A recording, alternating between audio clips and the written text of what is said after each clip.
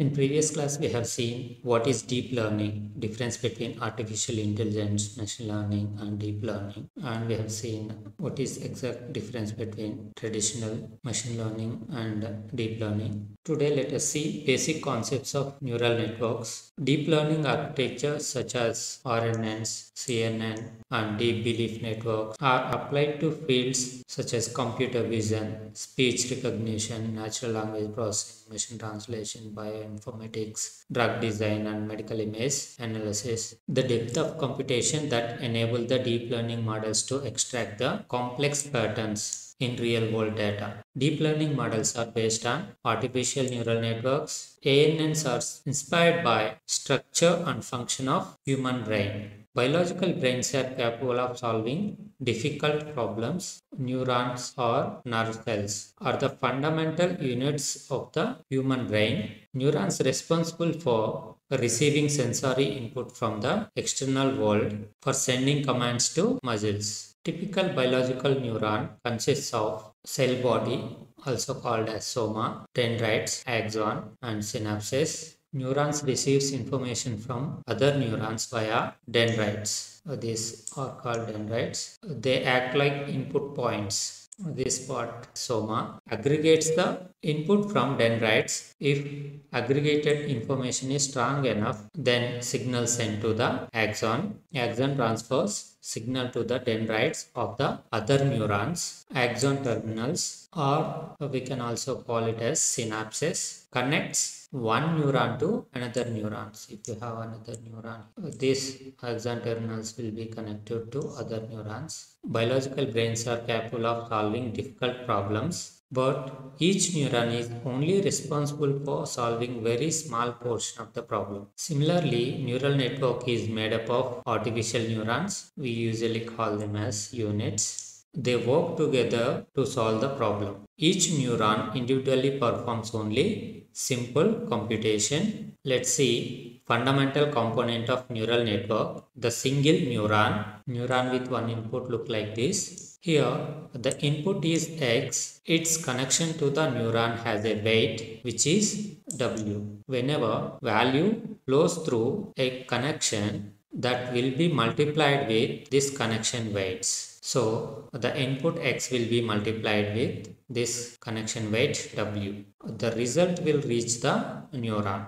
Neural network learns by modifying its weights B is a special kind of weight. We call this as bias. Bias will not be associated with any input. Usually one will be given as input to the bias. This bias modifies the output of neuron independently of this input. Here y is the output value of neuron. To compute this output, neuron sums up all the values comes from the connections. So neuron output y will be this x value will be multiplied with its connection weight so wx plus 1 will be multiplied with b would be b. So y will be wx plus b. This bias will shift the output function to left or right or up and down. From this we can say that artificial neuron is a simple mathematical function. The connections of biological neurons are modeled as weights. Here the positive weight reflects the excitatory connection. If you have positive weight force plus 1 this is called as excitatory connection. Means this input has more importance. Suppose if you have negative weight that kind of connections are called inhibitory connections then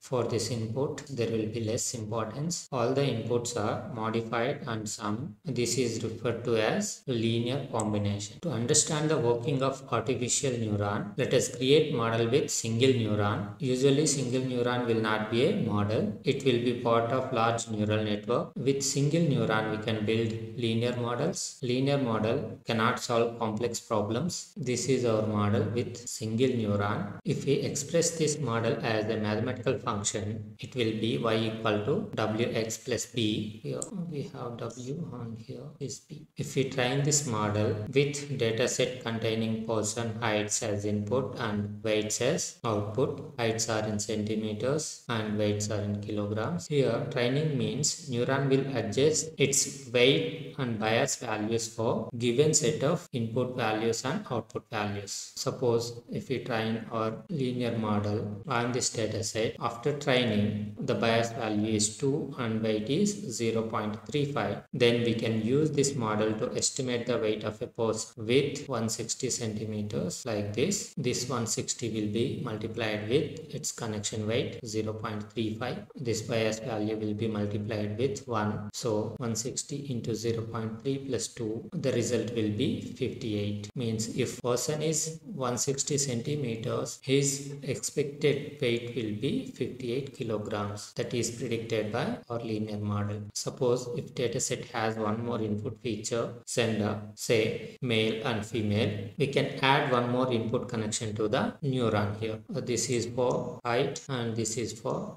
gender. To find the output, we would multiply each of its input values with its connection weights. Uh, let us say for this connection, connection weight is W0 and for this connection uh, weight is W1. Then model equation will be X0 W0 plus X1 into W1 plus this P. Suppose if we have three inputs height, gender and country also based on height, gender and country weight of person might be different then we can add one more input country here. We can add one input connection to the neuron for each additional feature. Then resultant model will look like this. Here we have three inputs. So y equal to w0 x0 plus w1 x1 plus w2 x2 plus bias value. Let us see simple linear regression with single neuron. We have already seen this example in our data analytics class. There we have used statsmodels to build this linear regression. Here we are going to use neural networks. Here we want to predict the sales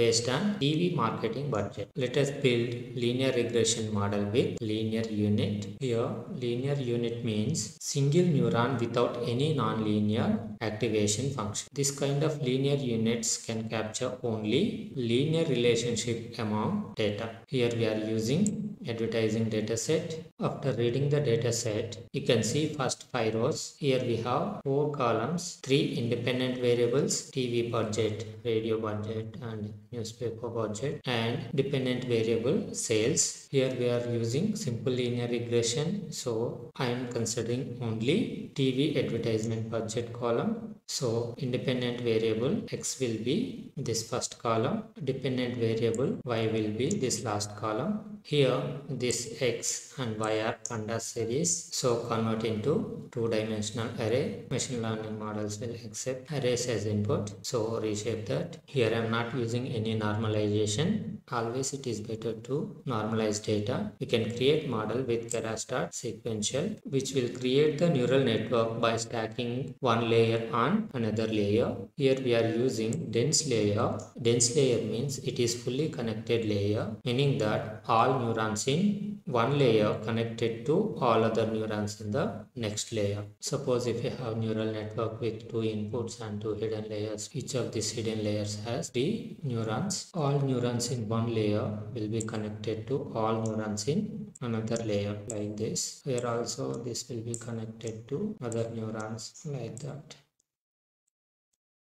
since we are using single neuron so units will be 1 and input is also single variable so input shape is also 1 this is the model summary. Compile the model with ADAM optimizer with learning rate 0.05 here we are using simple loss function mean absolute error. You will see this loss functions and optimizers in next classes. Then train the model with input and output. Here i am not using any training and testing sets here i am training the model with entire data repeat it for 200 iterations then model will be trained on this given data set. Now we can use our model to predict the data. Let us predict the y values using this trained model. Again here i am giving the all the data within the independent variable x. For this x values, model will predict some y values. Let us call that as y predicted. If we plot the original data and predicted data, here these blue dots are the original data and uh, this red line which is the predicted data. See here predicted data on the straight line. But see here our data is little bit non-linear. Linear units can capture only linear relationship among data.